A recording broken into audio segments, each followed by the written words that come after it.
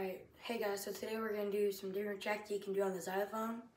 The first one is The More You Know, and it goes like this. See? record? Okay, so for this one and the final one, it's going to be like uh, whenever things are getting really tense or something crazy is happening. It goes like this.